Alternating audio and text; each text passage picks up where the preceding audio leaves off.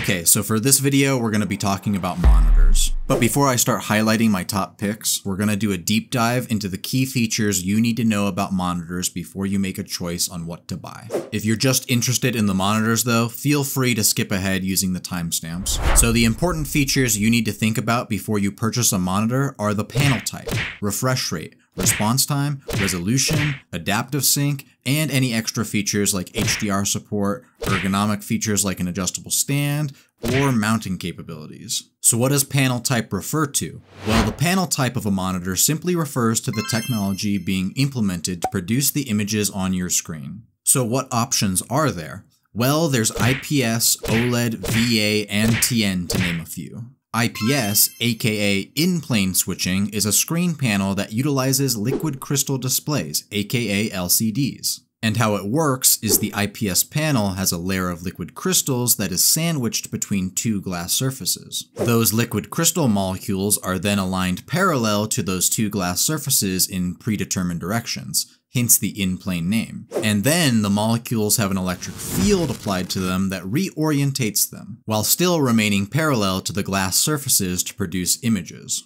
So now that you know how it works, what are the strengths of the IPS panel type? Well, they have wide viewing angles, meaning that colors and brightness remain consistent even when you're viewing it from different angles. A situation this might be beneficial in is if you're using the monitor to watch a movie or video with friends and you don't want any weird distortion to occur for anyone depending on where they are in the room. IPS monitors also have great color accuracy and improved contrast so they can display darker blacks and brighter whites so images appear more vibrant. This is great for gamers that want an immersive high quality experience, but it's also great for creatives who do things like graphic design, photography, video editing, you name it. Additionally, they also have lower input lag than some other monitor types like VA, which is obviously an advantage if you're playing games that require fast response times and smooth motion. Now I know I just said that's an advantage, in the case of IPS versus VA monitors, but its response time is technically a disadvantage when you compare it to a TN monitor that has faster response times. Response times are of course something you should consider when you're buying a monitor, but since IPS monitors have better color accuracy, wider viewing angles, and improved contrast, they more than make up for that difference. Now, all those features are great, but it could be considered a disadvantage if you're worried about price, since IPS panels tend to be more expensive than TN panel monitors. That price difference isn't that big of an issue though, since there's lots of IPS monitors on the market now that are pretty affordable.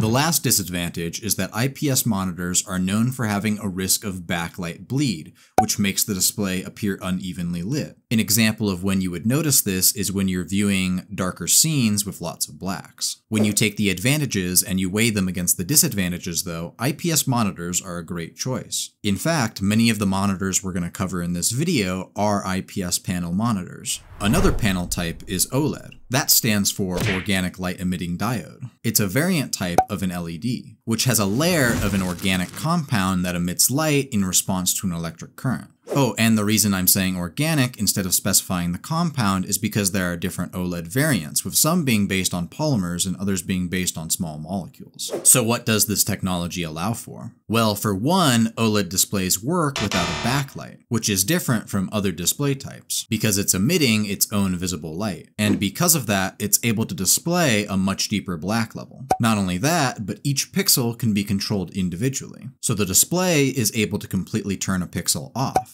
which allows for unmatched contrast and HDR performance. And HDR stands for High Dynamic Range, which is a color technology that allows for more color shades and contrast nuances than older tech. Now, similar to IPS panels, OLEDs also offer wide viewing angles with minimal distortion. And OLED displays have fast response times that help eliminate any unwanted motion blur and ghosting while playing video games. OLED displays also have potentially lower power consumption, especially when you compare to something like an LCD panel while displaying dark content because of being able to turn individual pixels off. Now for the cons. If you've done any research into OLED screens, you'll instantly know this issue. And that's the simple fact that OLED screens cost more. In fact, they're one of the most expensive options on the market. Not only that, but since OLED monitors are relatively new to the market, there isn't that wide of a selection because they simply have fewer models available to purchase. These are just consumer issues though. As for an actual issue OLED panels are susceptible to, there's the burn-in issue. And a burn-in issue is when a static image that you commonly display in the same spot on the screen will potentially permanently leave a faint imprint in that area. The most common example of something that might get burnt in is a desktop icon on your taskbar. Overall though, OLED displays are the best choice for picture quality and performance. So if you're a gamer, content creator, or content consumer that doesn't care about the burn-in risk or the cost, this might be the best choice. Now what about TN and VA monitors? Well, VA stands for vertical alignment, and the strength of this panel type is they have high contrast ratios with deep blacks, as well as a decent balance between response time and color accuracy. But VA panels have a very narrow viewing angle, so you can expect a lot of distortion when you're outside of its intended viewing angle. And these panels are also known for potential ghosting, which is when you see a faint after image trail behind moving objects on your screen. I know I just went over the cons for this panel type, but it's actually a pretty solid option, and depending on what else the monitor is offering, might be a better choice than IPS. Now the next panel type we're going to talk about is TN, which stands for Twisted Nematic. And the strength of TN panels is that they include super fast response times, and generally they're really affordable. But they suffer from poor viewing angles, and in this case, horrible color accuracy. You might be able to increase the color accuracy by tweaking settings, but at the end of the day, it can only do so much to improve the experience. So if you happen to be a creative professional, I strongly recommend you don't get a TN panel. It might be a good choice for gaming though if you're really into a game like Counter-Strike where the extra responsiveness might help you out. I imagine most people aren't going to be a big fan of TN monitors, but there is an audience for them. But one thing to remember is even though these are strengths and weaknesses for each of these panels, it also depends on what model monitor you get and from which manufacturer. So which panel type is best? Well, technically it's OLED, but the real answer is it depends, especially for different price ranges.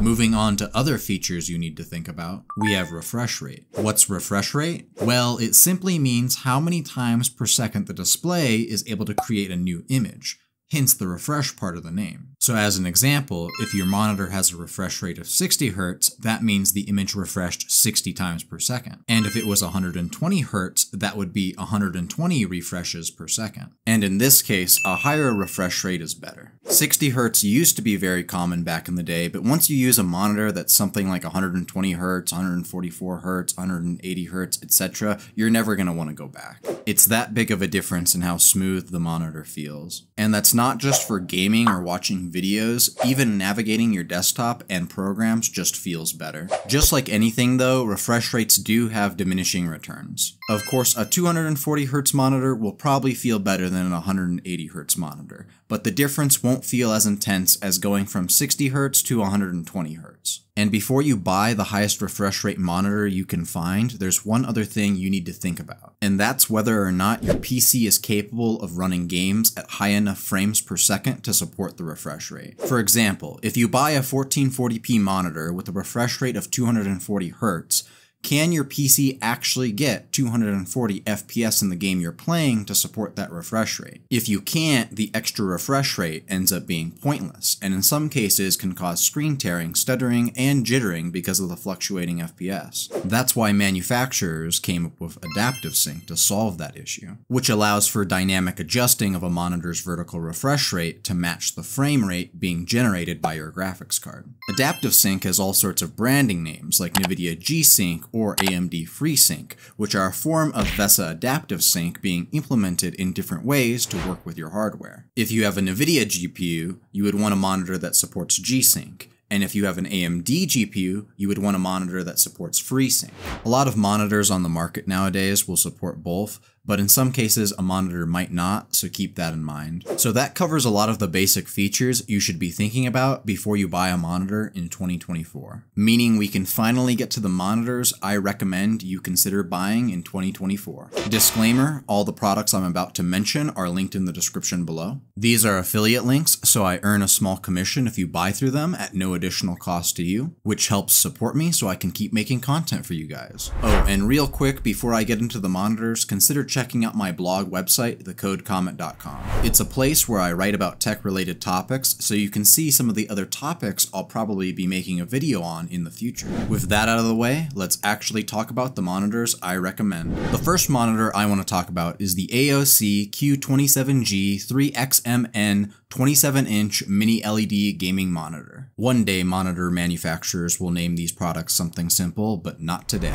Luckily, the complex name doesn't stop this monitor from being a great option. It's a 27 inch mini LED gaming monitor. So what does that mean? Well, in the case of this monitor, it's utilizing a VA panel, with mini LED backlight technology. And mini LED is simply an evolution of LCD that's using small blue LEDs as a backlight. This backlighting technology is supposed to have improved brightness and contrast ratios. So in theory, the monitor is supposed to be better at producing high quality true blacks and brighter whites. Now the resolution for this monitor is 2K QHD, which stands for Quad High Definition. That's a 2560 by 1440 pixel density. And 1440p is slowly becoming the new standard resolution to replace 1920 by 1080 as the next big 16 by 9 aspect ratio. Of course, a higher resolution means it's going to require better hardware to run effectively, especially if you're interested in gaming. So before you buy any of these monitors, make sure you have a powerful enough system to support them. I'll be making a video about GPUs in the future that should serve as a guide that will touch on what GPUs are appropriate for 1440p gaming. So if that sounds like something you're interested in, be sure to subscribe to this channel to get updated for when that video comes out. But back to the monitor, this AOC monitor has a refresh rate of 180 Hz via DisplayPort 1.4 which is great. And speaking of ports, you'll find that this monitor has two HDMI 2.0 ports and one DisplayPort 1.4, as well as one audio out port. I know the title for this product on Amazon says it has two display ports in the title, but that's just a typo on someone's end. In fact, if you go to the description about the monitor, you'll see that it only has one DisplayPort 1.4, which is the actual correct number. As for other features, this monitor has standard adaptive sync technology to prevent screen tearing, and comes with an ergonomic stand that's height adjustable and has the ability to swivel and pivot to your liking. If you don't like the stand though, the monitor is of course VESA compatible, so you should be able to mount it to a desk mount of your choice easily. So far, everything I've said about this monitor makes it seem pretty good, but kind of standard. So what makes me recommend this monitor over others? Well, it's the fact that this monitor supports VESA Display HDR 1000. That's true HDR. A lot of other monitors on the market claim to have HDR support, but the reality is they simply don't. You'll commonly see this when a monitor says it supports HDR 400. Technically, they aren't lying since the monitor can read an HDR signal, but you're not going to get the quality that HDR 1000 allows for. The fact that this monitor has true HDR support and all those other high quality features makes it a great monitor. But the craziest thing about this monitor is the price which at the time of this video is $280 USD. In this price range, that makes this monitor an absolute steal, and I highly recommend you purchase it if you're looking for a new monitor under $300 USD that has HDR support. Now the next monitor I want to recommend is for people that don't care about HDR, and that's the MSI G274 QPF-QD 27-inch gaming monitor. This monitor, just like the last one, has a QHD 1440p resolution but unlike the AOC, which used a VA panel, this MSI monitor is utilizing an IPS panel, which we covered extensively earlier. It also has a similar refresh rate at 170Hz, which is 10Hz lower than the AOC, but is still a really solid refresh rate. And you're not going to have to worry about any screen tearing on this monitor, since it supports both NVIDIA G-Sync and AMD FreeSync Premium. It also has HDR 400, but as I explained earlier, this isn't going to provide you with the HDR experience the last monitor is capable of giving you. For the design, the stand has a wide range of ergonomic adjustment capabilities for height, pivot, and tilt support. So you'll most likely be able to maneuver it in a way that works for your desk setup. And the monitor comes equipped with one Type-C port, one DisplayPort 1.4, two HDMI 2.0B ports, a headphone out port, and a DC jack. The Type-C port is there to let you power devices up to 15 watts. It also has a 5-way joystick navigator located on the back if you wish to change the monitor's default settings. Overall, the MSI G274 QPF-QD is a really solid monitor, and is actually really affordable for all these features at a price of around $200 USD on Amazon at the time of this video. That's because of a sale right now. Normally, its listed price is $300 USD. At the discounted price though, this is a great bang for your buck monitor, and is a great choice as a budget 1440p monitor for gaming. Now, maybe you're a hardcore gamer that really cares about high refresh rates. Well, if that's the case, I'm gonna recommend you get the MSI G274Q PX 27-inch gaming monitor instead. This monitor is very similar to the other MSI monitor we just covered, but takes all those features and simply bumps the refresh rate all the way up to 240 Hz. That might matter if your primary game is a shooter like Counter-Strike where higher refresh rates give you an advantage. And that extra refresh rate is only going to bump the price to $350 USD on Amazon right now. So if that sale I mentioned for the other monitor isn't running anymore when you watch this video, I would just spend the extra $50 to get this monitor instead. Now maybe you're looking for something premium and have money to spend for top of the line equipment. If that's the case, the AOC Agon Pro AG276QZD 27 inch OLED tournament gaming monitor might be what you're looking for. When I said premium, I meant it, since this monitor features a cutting-edge OLED panel for extremely high color accuracy and perfect blacks. Not only that, but the monitor has HDR10, so the color quality is going to be even higher. And you'll be able to experience those high quality colors at a 1440p QHD wide resolution, which they have at a refresh rate of 240 Hz. So regardless of its gaming, content creation, or content consumption, you know this monitor is going to be able to deliver it in incredibly high quality. And you're not going to have to worry about any screen tearing since this monitor has both AMD FreeSync Premium and G-Sync support. As for other features, this monitor comes equipped with two DisplayPort 1.4 ports, two HDMI 2.0 ports, two USB-C 3.2 ports, one USB-B port, two 5 watt built-in speakers, and an audio out 3.5 millimeter. So you're going to be able to easily hook this monitor up to all sorts of devices. In fact, AOC makes this a selling point on the Amazon page by highlighting the fact you can hook this monitor up to your PS5, Xbox, and Switch consoles. Now, if you do end up hooking a console up to this monitor, you need to know that the refresh rate in that instance is capped at 120 Hz, and the performance is going to depend on the system. The monitor also features special lighting on the back that comes in various colors, which you're able to customize. So you'll be able to get your desk set up looking just the way you want it. Speaking of of looks, the monitor has a fully ergonomic stand, so you'll be able to adjust the height with ease and switch between landscape or portrait orientation if you want. Alright, so how much is this monitor going to cost you? Well, the Agon Pro AG276QZD Tournament Gaming Monitor is going to set you back $700 USD on Amazon at the time of this video. That's pretty expensive, but again, this is a premium monitor, so if you're looking for top of the line quality and have the money to spend, this is one you should definitely consider. But what should you buy if money is tight and your computer isn't even capable of handling 1440p? Well, if you're on a budget and don't care about 1440p, I recommend getting a monitor like the Koorui 24-inch monitor. Hopefully I pronounced that correctly, but if I didn't, please let me know in the comments below. This monitor utilizes the old standard 1080p resolution, which might not be incredible in 2024, but is still very much passable for visual quality. As for the panel, it's using a VA panel that has a maximum refresh rate of 165 Hz and the monitor should be able to avoid ghosting with its adaptive sync technology. Now for the ports, the monitor comes with two HDMI 1.4 ports, one DisplayPort 1.2, and an audio out.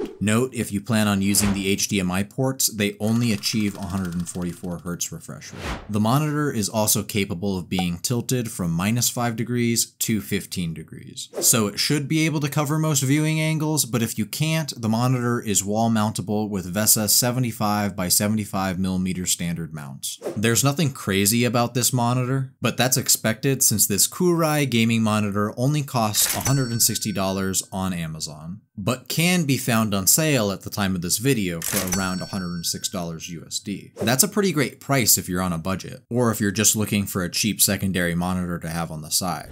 Now before I end this video, I do have one honorable mention I want to include, and that's the Acer Nitro XV271U 27-inch WQHD gaming monitor.